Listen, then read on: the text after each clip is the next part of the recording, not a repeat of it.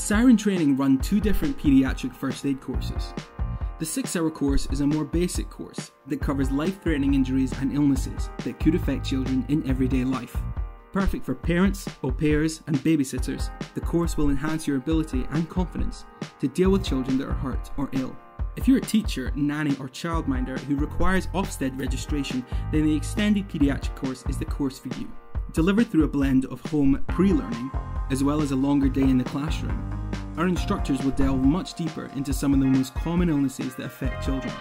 Accredited certificates are issued upon completion of the course and are valid for three years, which meets the requirements of becoming an Ofsted registered child carer.